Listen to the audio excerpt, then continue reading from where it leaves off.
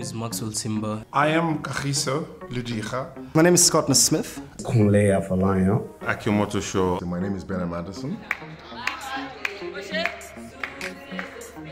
It's about time, um, but also I, as somebody who's had a film that, that kind of went onto the local circuit, on, onto cinema, and it did okay, you know, slightly less than okay. If okay was here, it was kind of like there. Um, uh, and when it got onto Netflix, immediately got streamed to millions of people. Like literally, when I heard the numbers, I was like blown away.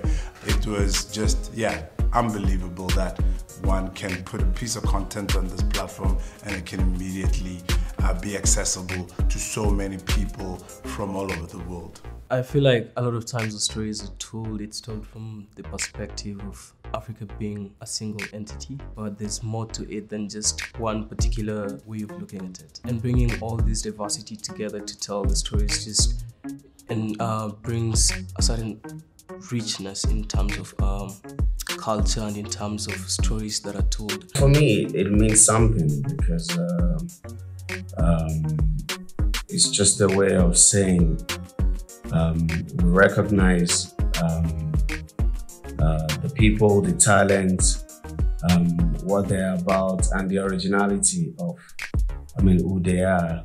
So for me, the fact that Netflix has come to Africa really is exciting. Uh, it's terrifying because we don't know the, the diverse, energetic, and powerful stories that are going to come from this continent. Because it means we are going to shape the destiny of where the world is going to. Yeah, I'm very excited to be working with such a great um, group of talent across from across um, the subcontinent. Um, you know, it's a real honor to be with them. And some of these guys have produced some of the greatest shows uh, that has come out of the continent in the last few years. Great directors, great actors and actresses. Um, very, very happy to be working means the world to me because I think if you look at Netflix and you look at Netflix success, they're a disruptor in the game. A lot of the stories that we've all dreamt of telling, we wouldn't really be given the opportunity to tell them just because of the way in which the industry works. So to have an entity like Netflix, which we've seen what it has done worldwide for other creatives in other countries, to finally be here in Africa is really exciting. It means a lot um, because uh, it's only we that can tell our stories. And by virtue of them bringing us all together to tell the world that, you know, we're ready to take the mantle and um, tell our stories, it means a lot to me as a creative and as a young aspiring actor in the business. For me, it means a considerable amount because um, when I was trying to join the company and you know uh, the recruiting manager met, met, said to me basically you know why do you want to come to Netflix and what you know what do you think you can achieve here?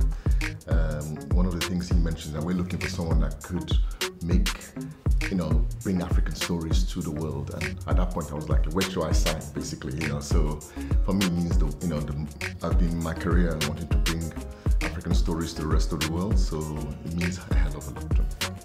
I think for me, it's a personal issue. In South Africa, that gives me this, this large history of heritage to bring to bear in the telling of our stories. From up and down the continent, and for us to take ownership of who it is that we are and deliberately talk about how it is that we share our value with the world is a personal issue. South African and Nigerian content will resonate with the world because the content has always resonated. Tsotsi won an Oscar many years ago. We've intervened in world cultural affairs from time. So what we're seeing here is not like the beginning. There's a continuum of the work. But what we have is the opportunity that the world sees it in a way that they haven't seen it before.